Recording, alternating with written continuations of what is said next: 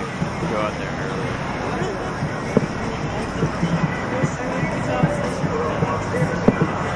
So what happens in the place?